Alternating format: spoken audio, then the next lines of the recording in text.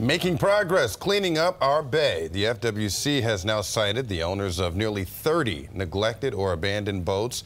That agency working with the Pinellas County Sheriff's Office, all of it to pull those boats out of the water, and for good reason. The FWC says they're not only dangerous to other boaters out there, but they can also hurt or our, our marine life, I should say. As of March, officers have reported more than 50 derelict vessels in Hillsborough and Pinellas County waterways.